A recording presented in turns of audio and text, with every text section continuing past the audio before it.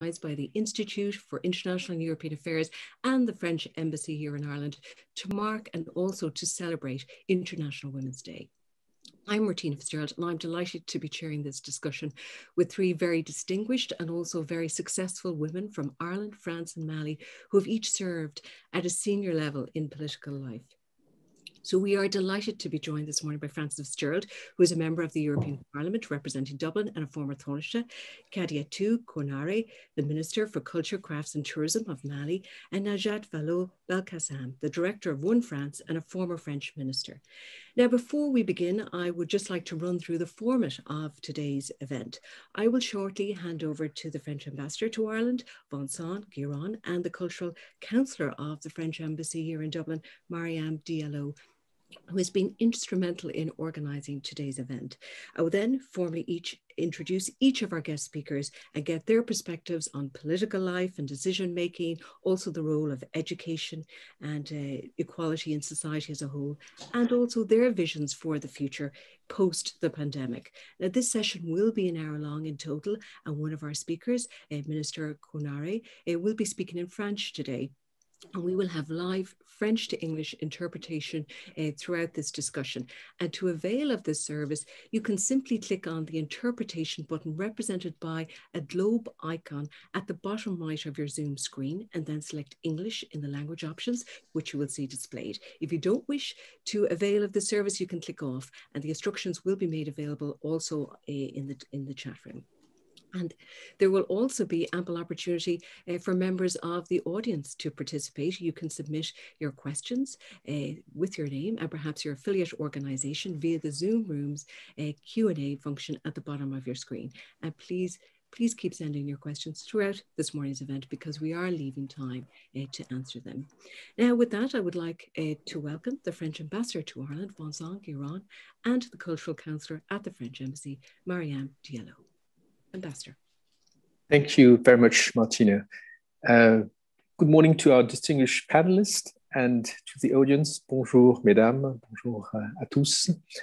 I'm especially pleased and honored to open this debate on the International Women's Day. This year, France and Mexico will also be co-chairing the 2021 Generation Equality Forum, in French Forum Génération Égalité, a global gathering for gender equality organized by UN Women. Thank you, uh, Mrs. Fitzgerald. Merci, Madame Konaré. Merci, Madame Vallaud Belkacem, for your participation to this exchange. And thank you for IEA for organizing it. And I also want to share my speaking time with Mariam Diallo, our cultural advisor at the French Embassy, who has enthusiastically and resolutely carried out this project at the French Embassy in Ireland. Thank you, Mariam. Merci, Monsieur l'Ambassadeur. It is a great honor for me to be able to bring together three countries that are so dear to my heart, Ireland, Mali, and France. Even though the role of women within political institutions has increased in recent years, we know that the road ahead will still be challenging allow me to express my admiration of our distinguished panelists coming together from different backgrounds and cultures. Thank you for being here.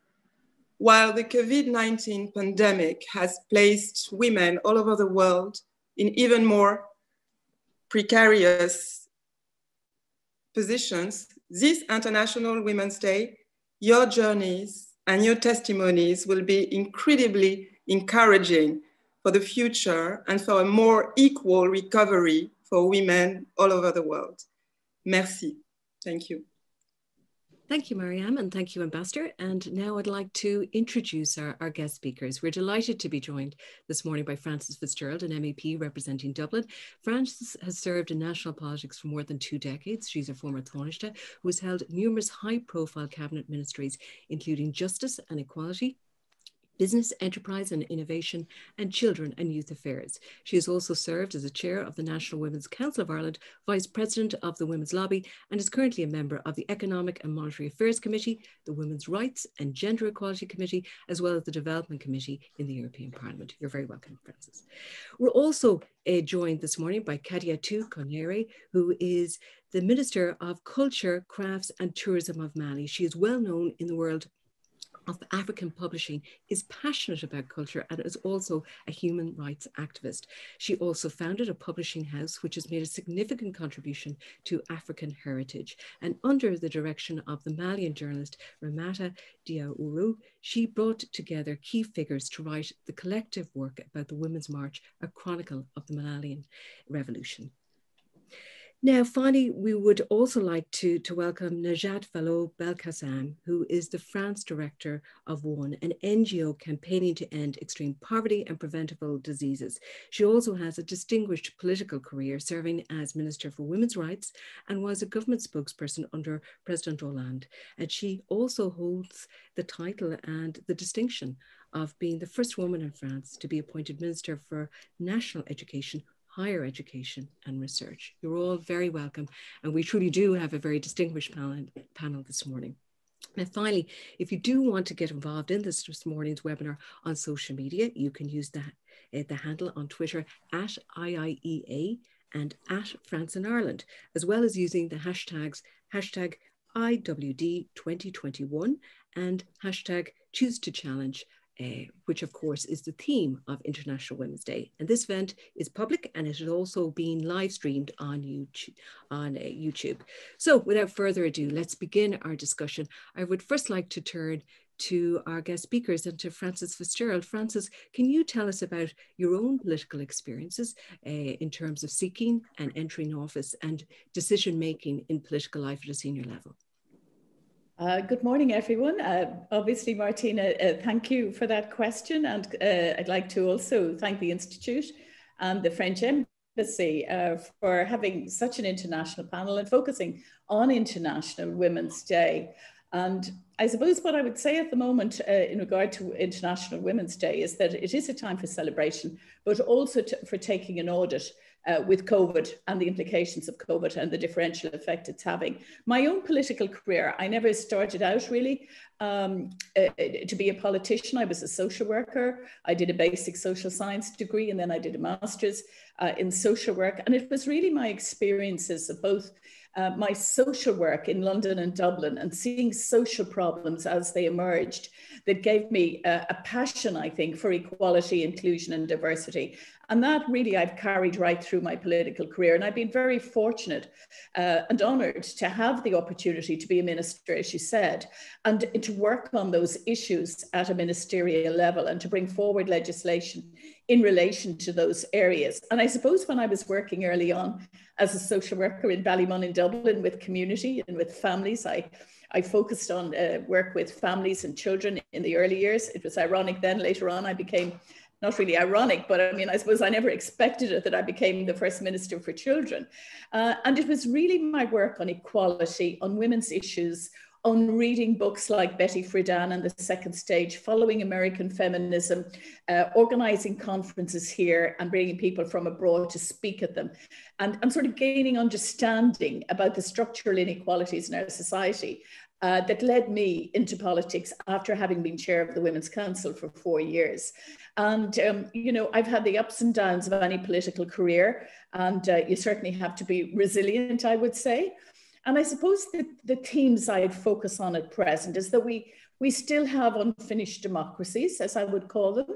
Uh, we still lack the critical mass of women and men working together.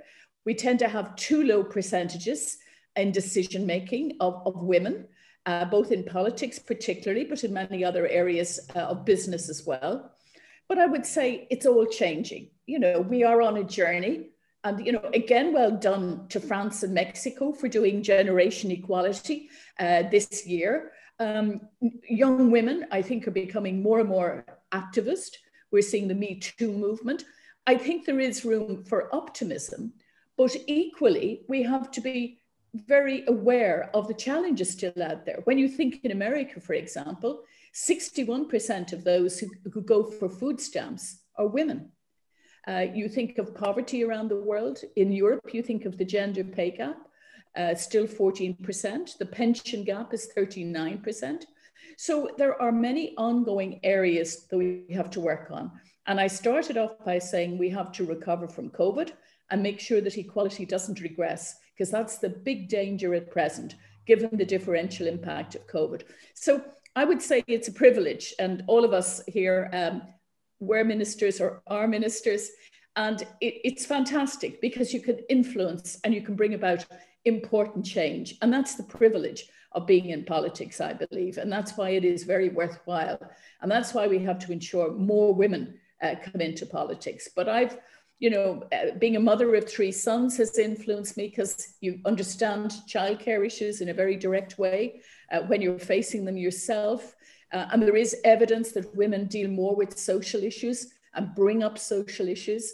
By the way, Martina, I just discovered last night there is one study showing that women are more active in politics and bring forward more legislation. I was delighted when I had found that. I, I didn't know that was true, but I, I, came across one study in a book I was reading last night about that. So I think women contribute a lot, would be my point when we're there. And certainly being in cabinet, and I'd conclude on this.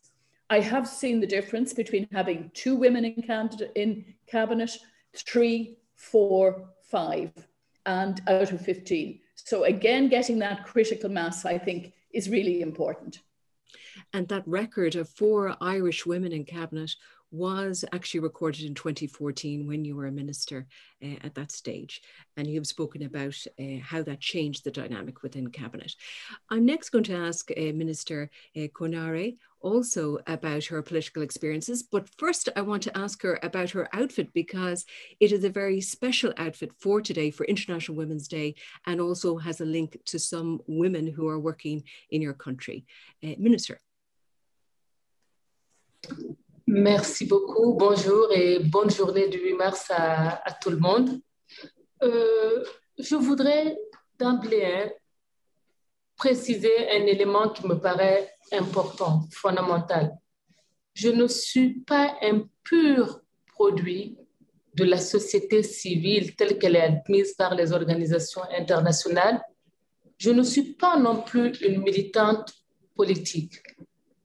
Mais le sens de mon engagement social et intellectuel, je pense le tirer vraiment de, du militantisme politique, la force des militaires, du militantisme politique, mais aussi je le tire euh, de l'engagement, de la créativité de la société civile. Lorsque je suis donc arrivée, j'ai été nommée ministre de la Culture, de l'Artisanat et du Tourisme de mon pays. Je suis arrivée là avec un background euh, d'engagement comme background, un engagement social, un engagement intellectuel. Et depuis quelques mois, je me rends compte et je réalise que peut-être faire de la politique, c'est tout simplement essayer de traduire en acte concret notre engagement social, notre engagement intellectuel. Euh, si vous le permettez, je vais quand même revenir un peu sur cette notion d'engagement social et sur la notion d'engagement intellectuel. L'engagement social, euh, pour ce qui me concerne en tout cas, prend ses racines encore là, au cœur de l'enfance, au cœur même du système éducatif. Vous savez, au Mali, lorsqu'on éduque une fille, on lui apprend très tôt à, à prendre soin des autres à s'occuper de la famille, de la fratrie. Moi, j'étais, je suis aînée de famille, donc très vite, j'ai appris à avoir cette responsabilité, m'occuper des plus petits.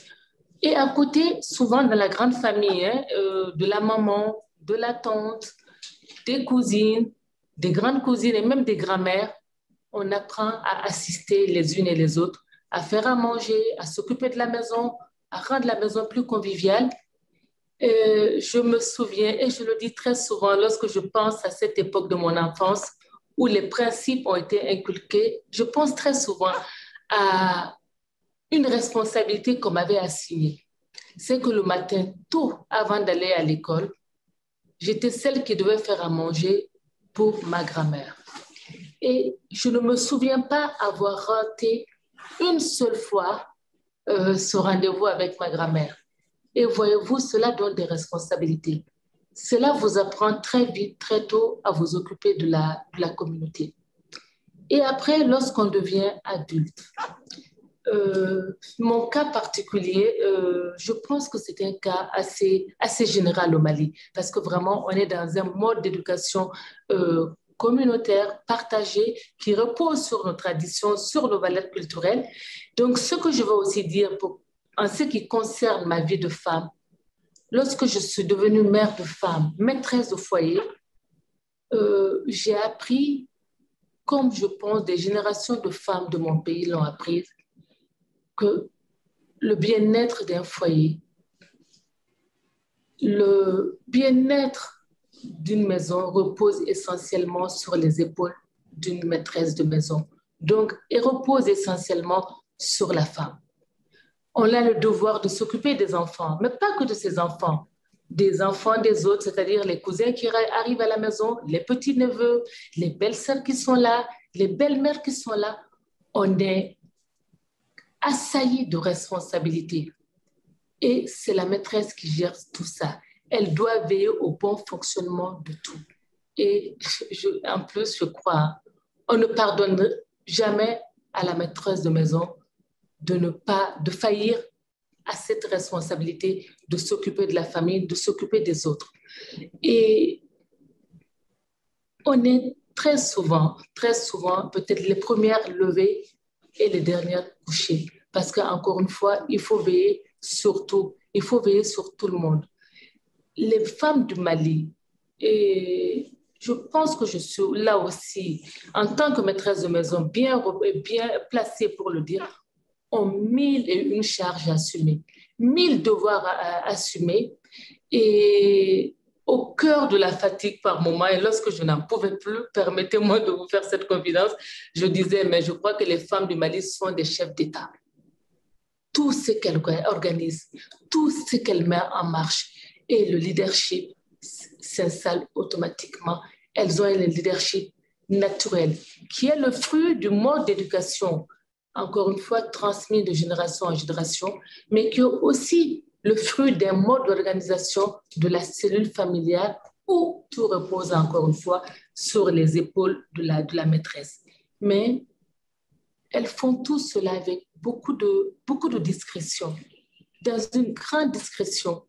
Il y a un adage populaire de notre pays qui dit d'ailleurs, dans la basse-cour, la poule sait que le jour s'est levé, s'est levé du moins, mais elle laisse le soin au coq de chanter cela veut dire ce que cela veut dire. Ça traduit toute la grande discrétion avec laquelle les femmes arrivent à prendre les responsabilités, à s'occuper de la communauté. Et, et en conclusion, je dirais que cela nous prépare nous prépare vraiment à assumer un leadership, qu'il soit politique, qu'il soit social. En tout cas, cela nous positionne naturellement à prendre des responsabilités. Il y a une condition féminine au Mali. Et cette condition féminine, encore une fois, est le fruit d'une éducation, est le fruit d'un parcours que je nommerais parcours de femme du Mali. Je vous remercie.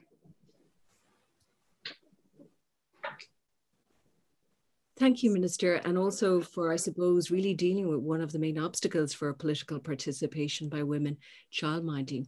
Just to remind everyone that um, in relation to the interpretation, you're to in relation to the interpretation, when the speaker, when speaker, the minister is speaking, if you press French to hear the interpreter.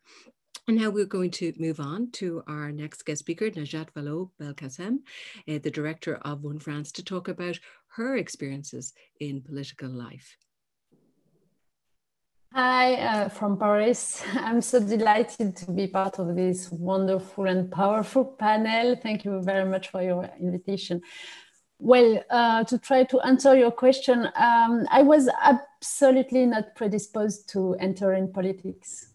Uh, to give you a little bit of background, I was born in Morocco. I arrived in France uh, only when I was four years old. I did not speak French. So my childhood was not filled with politics, um, and especially since uh, my parents didn't vote. Uh, that didn't mean I didn't have any commitments, but I have been fighting poverty and inequalities uh, in NGOs from a very young age. Um, and I certainly was not imagining myself as a politician when I was a kid.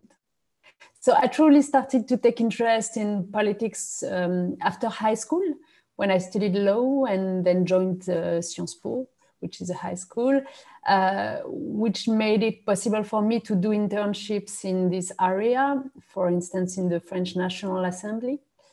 And this made me better understand how legislative action works and how, as a politician, you could change things for the better. And what made me finally go into politics was the 2020, uh, 20, um, sorry, uh, 2002 presidential election in France, when the extreme right candidate uh, arrived in the final round of the election. And that was a pure shock for me and for many people who absolutely did not expect that to be possible. This event made me realize that uh, I had to do something for my country and for the values I believed in because I had a voice and willingness to, to, to, to, make a, to make France a better place. Um, having a, a, family coming uh, from abroad was uh, a true opportunity for me because it made me see the world differently. It gave me uh, the ability to adapt myself to different situations and to understand very diverse points of view. Uh, it wasn't uh, as obvious uh, when it comes to being a girl. Uh, as a teenager, being a girl meant uh, that I had a bit less opportunities than my male relatives for going out, for example. So that made me quite mad. um, most importantly, I witnessed that uh, for my mom, for instance, being a girl meant that she had less autonomy and uh, had had uh, way less opportunities to study and live the life she wanted. So that certainly made me a feminist very early. Um, and uh, a huge believer in gender equality. Um, being a woman in politics hasn't always been a hassle, but it certainly makes you feel, because that's true, as an outsider. You obviously have to fight against stereotypes, not just gender stereotypes, but in reality, all kinds of stereotypes. And I've learned with time that um, the best way to answer them and to answer the criticism uh, was humor and uh, turning them into derision. I also think it's important to understand that during a debate, for instance, if you are being interrupted by men, uh, it's not because you were not firm enough or authoritarian enough. It's only because for years and years we have been taught that some voices matter more than others. That's what, what we call patriarchy. So instead of questioning ourselves, we should look up to people like uh, Kamala Harris, for instance, who did it very well during the pre presidential debate in the US by asking to finish what she had to say. And we uh, women have uh, as much to say as men we should believe in our expertise and our knowledge. But that's not something that is easy to do. Uh, there should be a lot of training and education around that at all ages, but also at school. And political norms, um, you have to remember that they have been built for men. So it's taking a long time to change mentalities. And it also requires a lot of adaptability from women to fit into this political system. I think that is really the, the, the few lessons that I have learned uh, of this experience. uh, Eh, there. And I'm going to, to return to that theme now with all of our, our guest speakers, starting with Frances, because I, I want to get your assessment of gender equality in society and particularly education. Education has been highlighted by the United Nations as the fourth sustainable development goal, gender equality the fifth. So what progress has been made in relation to these and what obstacles remain, Frances? Well, I think it's very clear that in Ireland, huge progress has been made. If you think there was a marriage bar only back, you know, until 1972, and there weren't as many women going to third level and getting further training and so on. And when I'm in the European Parliament and I see the progress that has been made in Ireland, uh, despite outstanding issues, which I will address, um, when I see some of the attempt to row back on women's rights in some of our uh, mem members of the uh, of the union, uh, it's quite disturbing. Um, you see people uh, and politicians uh, from certain member states who do not want to use the word gender equality now. You see people rowing back on on rights. Um, you see LGBTQI rights being, uh, you know, people saying we, we can't have this, we want, you know, LGBTQI uh, zones and so on, really disturbing human rights issues uh, continuing uh, within Europe. But I would say that from an education point of view, tremendous progress has been made in, in breaking down stereotypes, I suppose. Um, you, you, I mean, very early on, when I was in my uh, political career, we were looking at textbooks that had very uh, stereotyped in school books, really stereotyped stories about young boys, young girls. I think we're changing all of that. We're opening up the world far more uh, to uh, young girls uh, and, and, of course, uh, young men. And I, I think that's really good. We see much higher numbers in universities. In many courses, we see you know, more than 50% of females doing whether it's law or medicine, so on. The issue is more as people progress in their careers and come up against the very issue that both of our uh, other speakers on the panel have spoken about, and that is combining work and family life, having the childcare supports, the caring demands, uh, the unequal division of care in our society, and the lack of value on it, really. Um, but from an opportunities point of view, um, it, there's still a class element, of course. There's still a socio-economic uh, bar because of costs, and that is something we have to continue to work on. And there is another area where you're seeing um, inequality. And interestingly enough, Martina, it's in the uh, AI uh, digital technology area. And connectivity is going to be so important for opportunities as we progress, uh, opportunities to get good healthcare, to get more education, smart agriculture, and so on. Um, that is an area where, uh, for some reason, right across Europe, there is a digital uh, gap. There's a gender digital gap. And that's something uh, we really have to work harder on. And that is about women taking, uh, you know, the, the subjects of science and maths and so on, and young girls seeing that that is a potential career because that's where the money is going to be. Uh, that can help deal with the gender pay gap and the pension pay gap. So I think in other parts of the world, we have serious issues. Like uh, during COVID, we've seen an increase, for example, in female genital mutilation. We've seen an increase in early marriages. Now, if you have early marriages around the world, less chance of education. Um, there's a real danger of um, both young men and young boys and girls dropping out of education with the consequences of COVID because education has been curtailed in, in many areas. So I think, you know, there are ongoing issues and I am reading about the, uh, the need to make up for the lost time during COVID as well um, with our, our young people.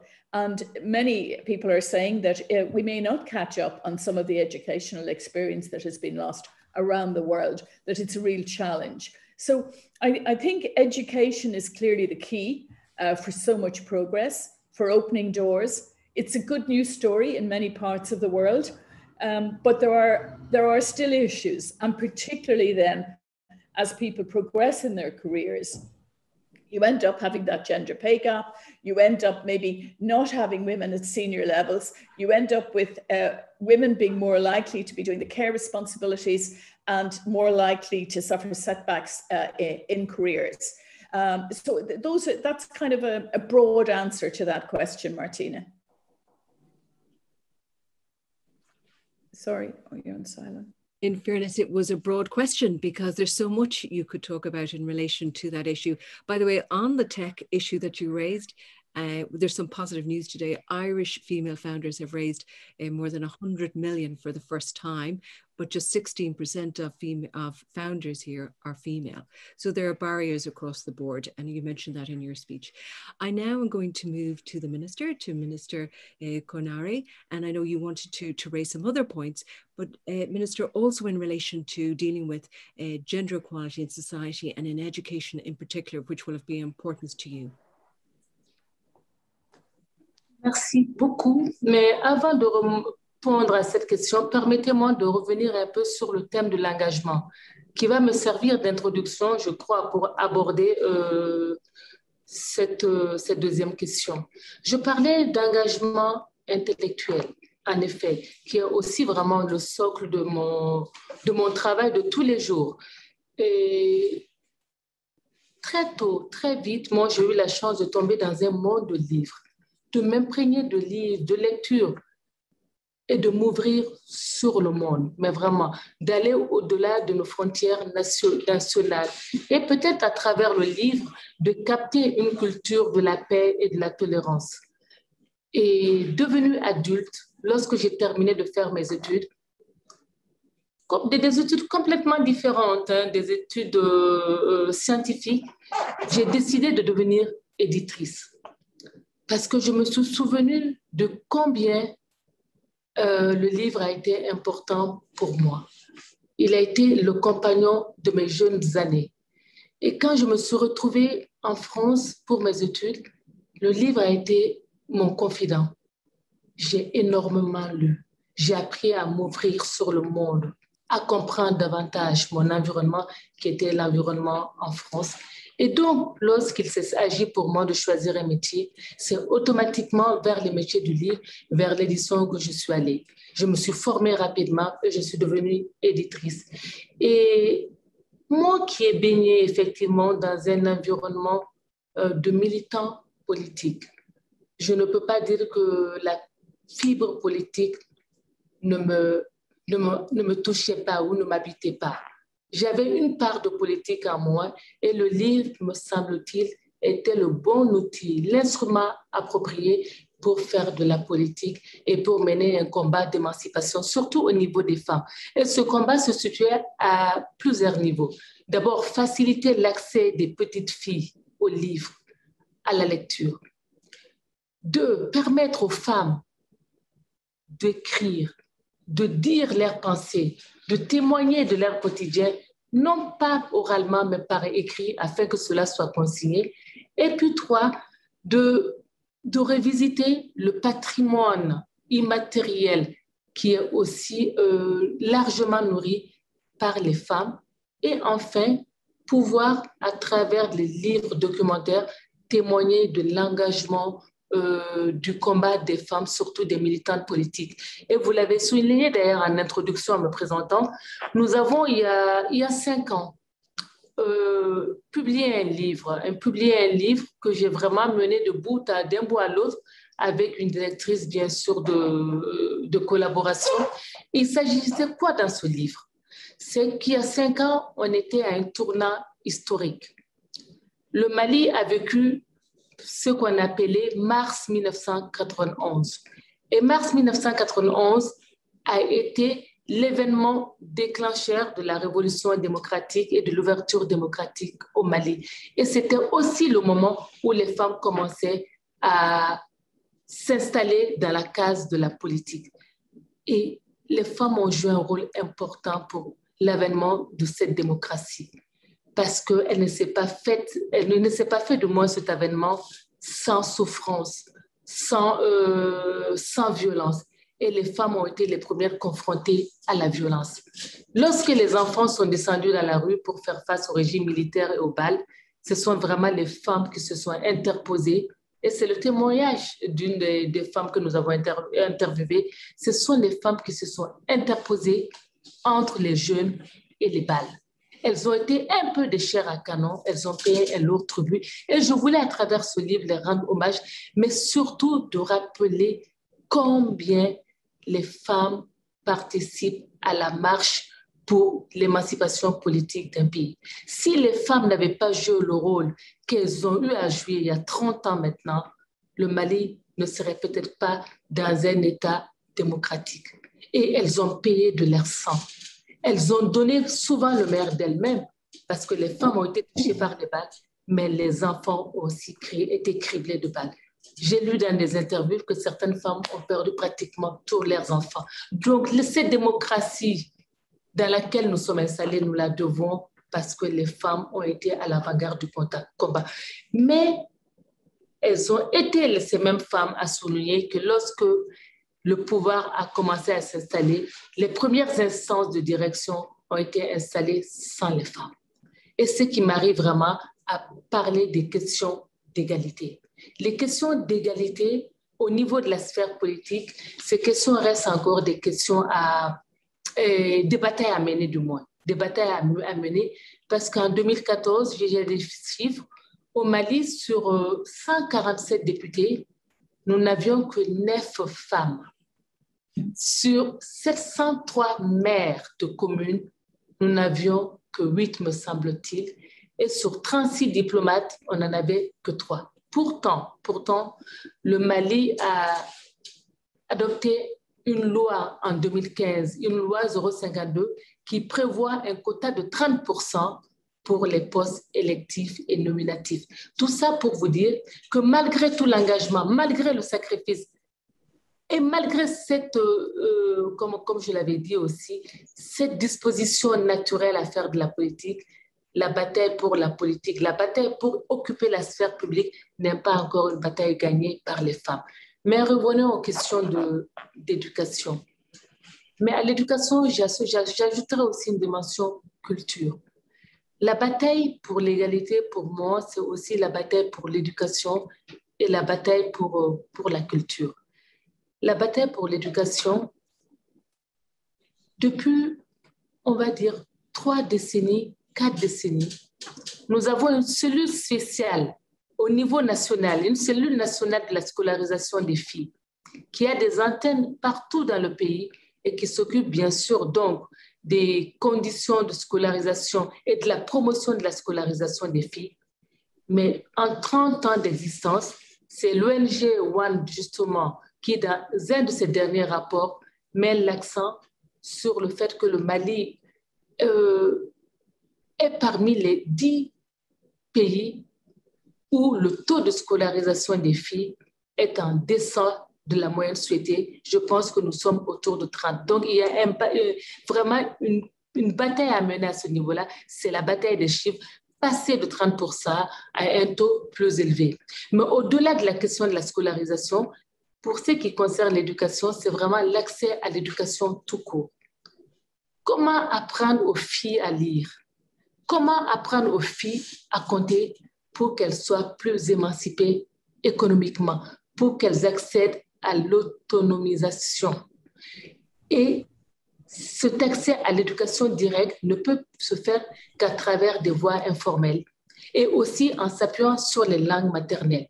Nous avons la chance au Mali d'avoir au moins 13 langues maternelles qui sont instrumentées c'est-à-dire c'est des langues avec lesquelles nous pouvons lire, c'est les langues avec lesquelles nous pouvons compter, c'est vraiment d'apprendre aux filles à lire, à écrire et à compter pour encore un accès à l'automatisation. Mais même au niveau des filles qui sont scolarisées, il faudrait aussi quand même mettre l'accent sur euh, une problématique euh, de taille, c'est la déperdition scolaire. Une chose est de mettre la petite fille à l'école, Mais une chose est de la maintenir à l'école pour qu'elle puisse avoir un diplôme. Un diplôme qui lui garantisse quoi? Un diplôme qui lui garantisse un emploi. Et cela n'est pas une bataille euh, gagnée d'avance. Et au niveau de la culture, euh, la problématique culturelle est aussi une problématique de, de, de bataille. Vraiment, j'aime bien ce mot parce que ça montre la lutte qu'il y a encore des domaines sur lesquels les femmes n'ont pas définitivement gagné le combat. Au niveau culturel, euh, lorsqu'on revisite notre patrimoine historique surtout, nous nous rendons compte, là encore une fois, du rôle primordial que les femmes ont joué. Que ce soit les reines de nos grands empires, aux martyrs de la révolution dont je parlais tantôt, de la révolution démocratique, les femmes ont été à l'avant-garde. Il s'agit pour nous de les réhabiliter vraiment dans ce rôle qu'elles ont eu à jouer. Et aussi, les femmes sont les détentrices du patrimoine immatériel. Le patrimoine immatériel, ce sont nos valeurs, ce sont nos savoir-faire.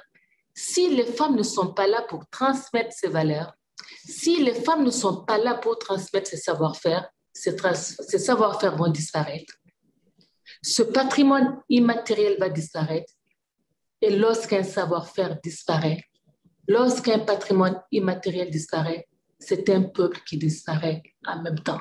Donc, il est important dans la bataille pour l'égalité que les femmes soient réhabilitées dans leur rôle, dans leur rôle en tant que gardiennes du temple, en tant que gardiennes de nos traditions, mais qu'elles soient aussi réhabilitées par rapport à l'histoire parce qu'elles ont joué un rôle énormément euh, dense pour la consolidation de nos pays, pour la, pour la majesté de nos États, pour la majesté de nos, de nos empires. And Minister, clearly, thank you. This is a very uh, passion. You feel very passionately about this issue, given the role of women uh, towards uh, towards democracy in your own country, and also in terms of those stark statistics that you have given us in relation to education participation uh, and, and uh, girls.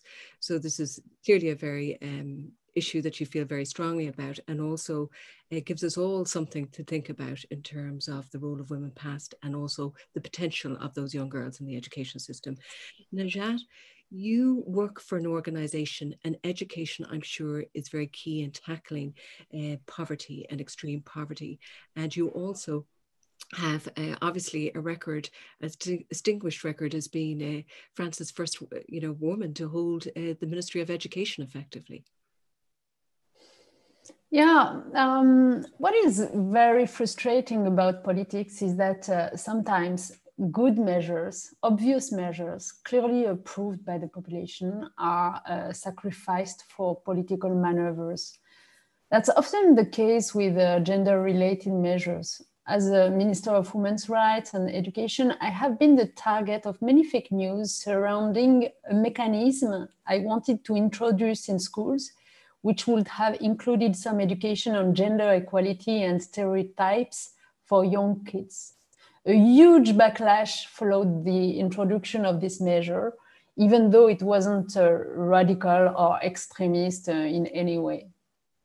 So well, that's the first thing. Um, also, um, a difficulty in uh, assessing gender equality in our own countries and in others is the blatant lack of gender data. This is a serious issue because the lack of data also implies that uh, gender discriminations are always underestimated. It also makes uh, it more difficult to draft efficient public policies and to target the right audience.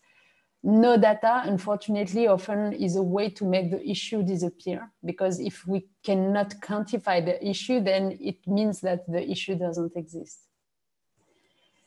And third, I would say that uh, another major issue is uh, now COVID 19. We have to talk about it. Recently, it has been estimated that uh, we had lost 25 years of gender equality progress in only one year of pandemic. This is absolutely catastrophic. And for now, this is not addressed by governments through gender specific measures. You know, after the first lockdown in France, I have published a book with a French philosopher, a book called uh, Society of Vulnerable People, Feminist Lessons of a Crisis. In this book, we assess the impact of COVID 19 on gender equality in France and in the world. Women have lost a lot, a lot in many areas during the pandemic. That's true in France, but the crisis has also uh, exacerbated vulnerabilities in countries with significant fragilities in terms of food security, economy. There, women have uh, also been the first casualty of cultural and individual violence, child marriage, unwanted pregnancies, school dropouts, genital mutilation, all these uh, phenomena are rising, and Kadiatou can probably tell us more about that. But more generally, the crisis has wiped out decades of progress in gender equality by reaffirming women as heads of households, handling most of domestic and educative chores while also sacrificing their jobs when family needed to come first. The crisis has made domestic violence cases rise uncontrollably. Un uncontrollably. Again, again, policy responses to those issues were crafted without the contribution of women, overtaken by the valued expertise of men in power. Women's reality was once more subordinated to the priorities selected by the political discourses which are men discourses. So in the book, we explain, uh, for instance, that care workers, cashiers, health workers, maids, have showed during this crisis how essential they were to avoid a complete breakdown of our societies. Yet, those care workers are very poorly appreciated and recognized in France, and I think it's the same in other countries. And these jobs are mainly occupied by women.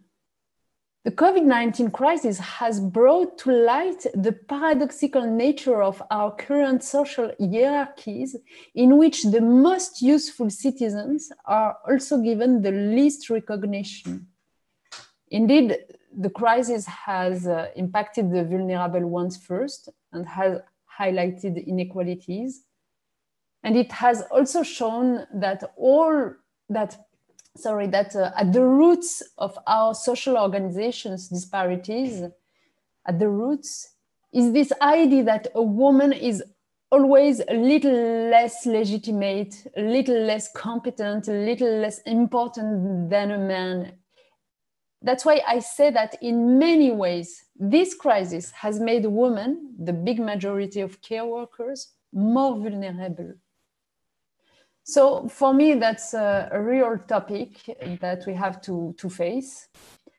Um, I don't want to be too negative, so I will try to end on a positive note. We have, uh, we also have uh, to highlight positive changes. For instance, uh, in France, the extension of the mandatory paternal leave in France, uh, which is uh, interesting because, uh, as Kadiatou said it, now we have to fight on the cultural level uh, to fight on the cultural level to end uh, patriarchy um, means uh, to to make men as committed as women in the domestic life, in the parental in the parental life. So I think the progress have to be um, uh, found in this area especially.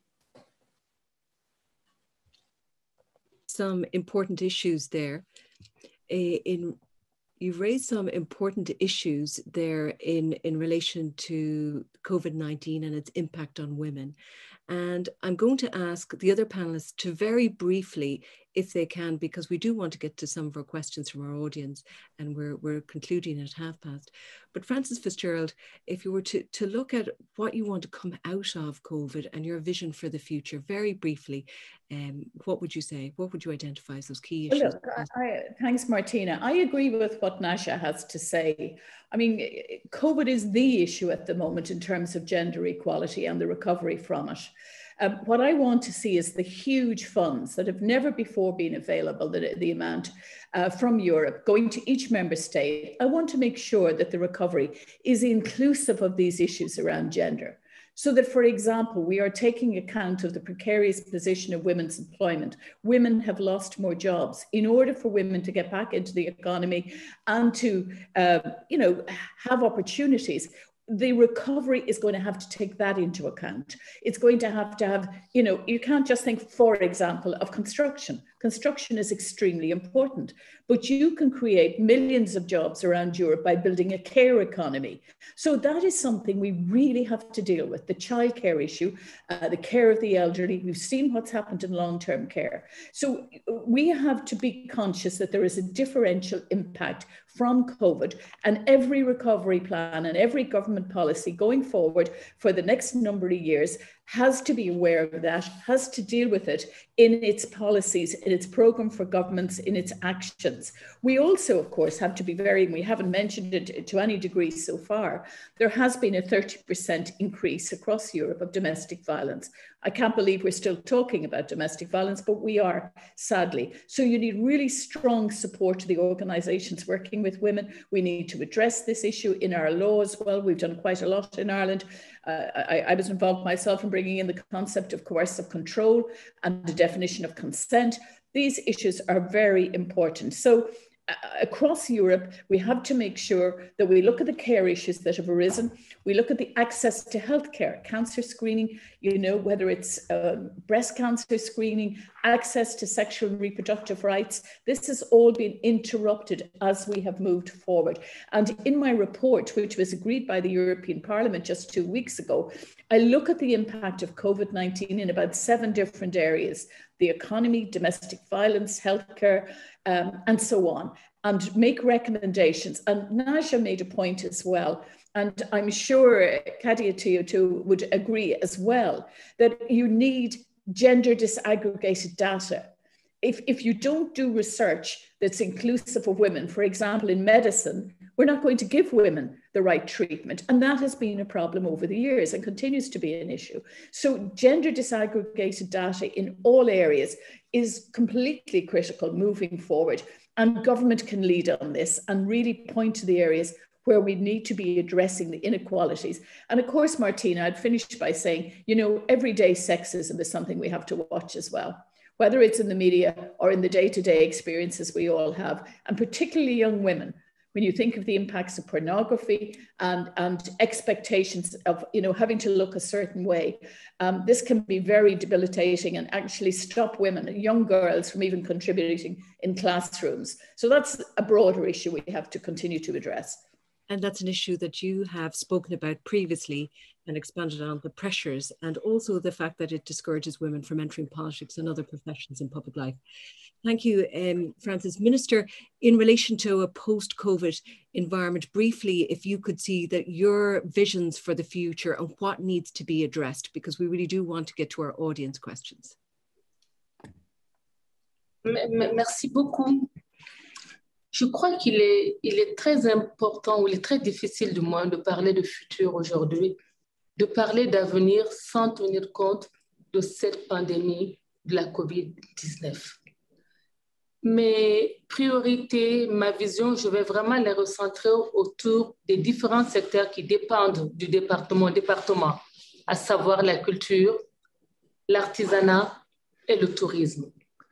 Et en effet, pour le secteur artisanal comme pour le secteur touristique, il y a un monde avant le Covid et un monde après le, Covid. Nous avons appris depuis quelques mois, lorsque les frontières ont été fermées, le Mali, qui malgré la crise sécuritaire continuait à recevoir des touristes, le Mali s'est vu sévré de touristes internationaux. Plus aucun flux de voyageurs alors que notre industrie touristique reposait en grande partie sur ce flux international. Et lorsque les touristes arrivaient, qu'est-ce qu'ils aimaient peut-être le, le plus ou vers quel secteur ils se dirigeaient le plus? C'est le secteur artisanal. Ils allaient à la rencontre de la créativité des artisans du Mali. Et donc, pas de touristes, pas de développement vraiment de l'artisanat et nous avons donc été obligés de mûrir une réflexion, de dire il nous faut impérativement nous donner les moyens de développer le tourisme local, le tourisme national, pour permettre au tourisme de vivre, de survivre. Parce qu'encore une fois, il y a le monde d'avant et le monde d'après. Et mettre donc des, outils à la disposition du secteur touristique pour qu'il y ait justement cette promotion du tourisme local. Et pour ce qui me concerne et pour ce qui nous concerne au niveau du département, nous comptons énormément nous appuyer sur les ressources locales féminines parce que l'artisanat est détenu en grande partie par les artisans, par les femmes. Vous voyez les métiers comme la poterie, la vannerie, le tissage, j'en parlais tantôt, euh, la teinture. L'artisanat est constitué d'énormément de métiers féminins. Il faudrait vraiment revaloriser ces métiers et permettre aux femmes d'en tirer un bénéfice économique. Et au niveau touristique également, on peut s'appuyer du développement du tourisme local, on pourra s'appuyer sur les ressources féminines. Je l'ai dit à l'entame de mes propos, c'est que la femme, c'est celle qui sait recevoir, c'est celle qui sait entretenir la maison. On a une culture ici, c'est la culture de l'hospitalité. On appelle cette culture la jatigia. C'est vraiment l'art de recevoir. Je me dis que ce art de recevoir, on va tout simplement le transposer de la cellule familiale à la cellule nationale, à la cellule citoyenne. Donc, nos femmes de maîtresses de maison pourraient très facilement devenir des gardiennes de la cité en célébrant cette jatigia, ce art de l'hospitalité qui est un art incontournable dans le développement de l'industrie euh, touristique. Quant aux aspects de culture, les défis sont énormes. Les défis sont énormes, mais la vision, la vision est là. La vision est là. Lorsque nous sommes arrivés au, au, niveau du département, très rapidement, nous avons organisé des concertations au niveau des, différents, des différentes branches du secteur culturel. Ça voudrait dire quoi? On a fait s'asseoir autour d'une table tout le monde du cinéma aussi bien les acteurs publics que les partenaires techniques, les, les, les, acteurs eux-mêmes, les opérateurs eux-mêmes, pour discuter de l'avenir de leur métier. Et nous avons fait cet exercice au niveau de toutes les disciplines culturelles, la musique, les arts pratiques, la danse, etc. Et il, en il, il en est ressorti un certain nombre de recommandations qui sont vraiment le fruit de concertation et nous allons mettre en application ces recommandations. Mais je tiens à vous signaler la, spécificité, ou la particularité de la période que nous traversons au Mali. Nous sommes dans un gouvernement de transition, c'est-à-dire un gouvernement de mission, un gouvernement qui aide à aller vers les élections, qui aide à préparer le jour après les élections. Et nous avons la responsabilité, euh, prêtez-moi l'expression, d'assainir la maison, de faire en sorte que les choses soient nettes pour que ceux qui vont arriver puissent prendre les rênes en marche. Donc, nous avons un certain nombre de travaux qui vont aller dans ce sens-là pour vraiment rendre la maison assainir la maison. Et enfin, j'aimerais, et ça c'est une you, Minister. I'm just going to come in now because I know Najat has a, a half 12 and whether you may have a few more minutes with Frances. Okay. Uh, Najat, can I ask you, because some questions have come in from the audience, and I was just wondering, one is commending France and Mexico in relation to transforming the agricultural uh, systems but also asking how can women have a greater influence in agriculture and food systems? Because that's also important in tackling uh, poverty and uh, extreme poverty. So i'm going to ask it's a very specific question but i think it's an important one. And that question comes from rose hogan. Yeah. Hi rose. That's absolutely essential. And uh, we we absolutely share the idea that uh, the, the first problem in the developing countries, especially, is uh, the, the, the, fact that so many women are working on agriculture but do not uh, you know, master uh, their uh, work, do not own the, the, the, the, fields and so on and so on. So that is uh, absolutely uh, right. And we are going to put this topic on the Gender Equality Forum that is going to be organized in France in a few months. But if you allow me, um, let me maybe try to answer another question that I have seen on the Q&A from Claire Laudet. Uh, who, are, who is uh, asking us, um, well, uh, whilst in Ireland the number of women studying engineering and science has increased, the number of men studying nursing or social work is not increasing in the same way. What would you suggest could be done to redress that imbalance? As I believe that full equality won't happen as long as some jobs are deemed feminine.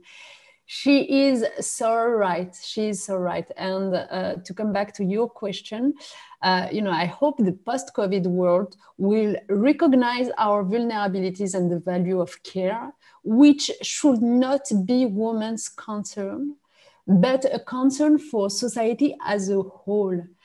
The lack of consideration for jobs uh, which are mostly occupied by women today, uh, the jobs in the care area, this lack of consideration is frightening. And for me, it is linked to the fact that in our general unconscious, the functions occupied by these cashiers, housekeepers, other caretakers are merely the extension of the domestic field.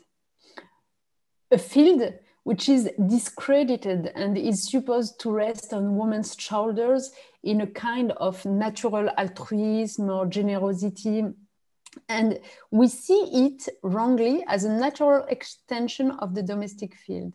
That's why these jobs um, uh, don't have any uh, uh, right recognition um, of the harness of, uh, of, uh, of, these jobs.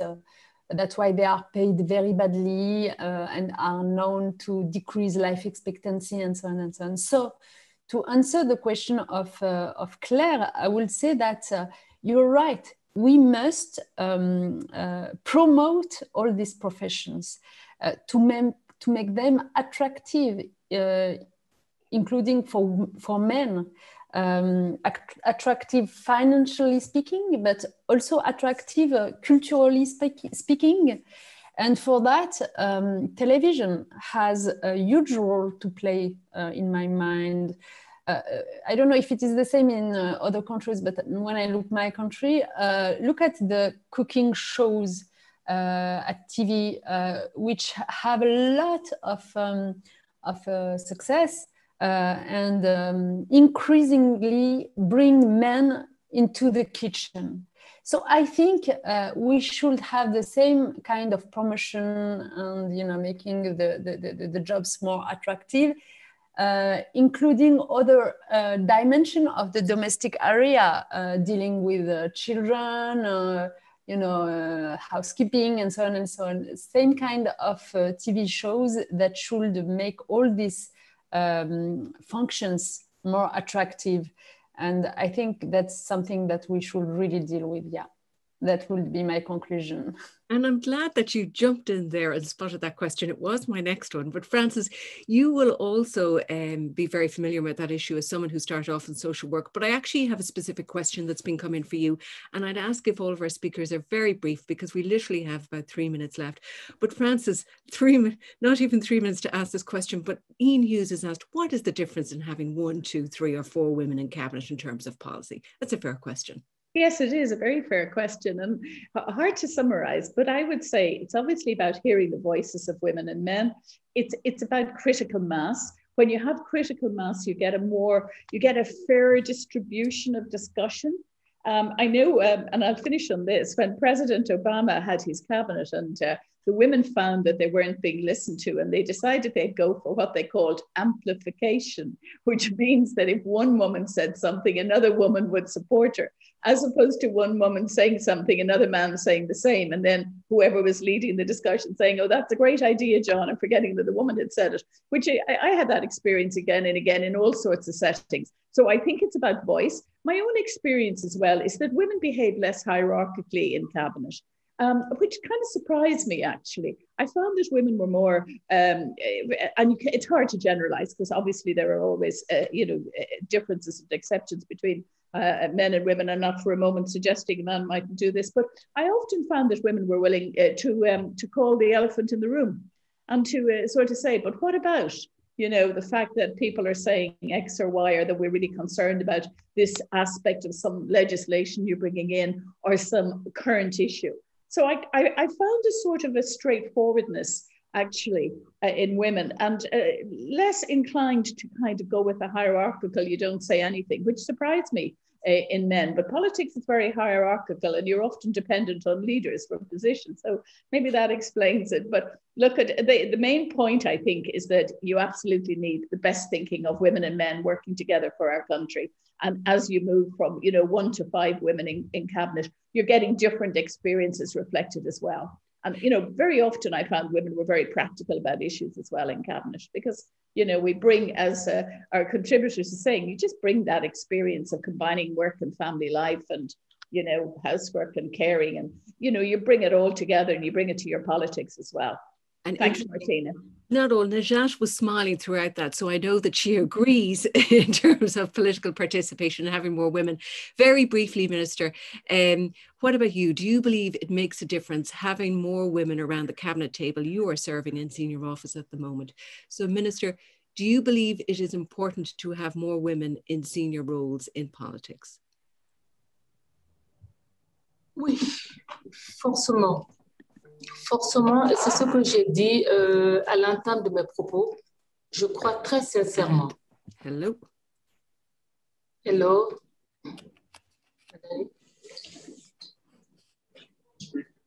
Je continue. Oui. Ce que, ce que je disais à l'entame de mes propos, c'est que je pense que les femmes sont vraiment, de par leur culture, en tout cas ici au Mali, et dans un certain nombre de pays africains, de par leur éducation, de par leur parcours, elles sont naturellement outillées à prendre des responsabilités. Et lorsqu'elles se retrouvent sur la scène politique, sur la scène publique, c'est avec beaucoup de responsabilités qu'elles assument leurs fonctions. Lorsque les femmes arrivent sur la scène politique, nous avons vu toutes les questions qui concernent, par exemple, le changement climatique, les questions qui concernent l'éducation, les questions qui concernent un meilleur devenir, l'autonomisation même des autres femmes. Elles donnent le meilleur d'elles-mêmes pour que cela puisse se faire. Donc, oui, il faut vraiment plaider pour un large accès euh, des femmes au partage des charges politiques. Thank you, Minister. And also, uh, thank you to all of our guest speakers today, Frances Fitzgerald, Kadia Tu, Konaré. Thank you very much for joining us from Mali, and also Najat Vallaud Belkacem, who had to go just at, at just there. I would also like to thank the IIEA and the French Embassy, in particular the French Ambassador to Ireland, Vincent Guérend, and the Cultural Councillor of the French Embassy in Dublin, Mariam Diallo, and all the IIEA team, Clodagh, Hannah, Lorcan, and also the interpreter, Veronica, who's do, done a, a huge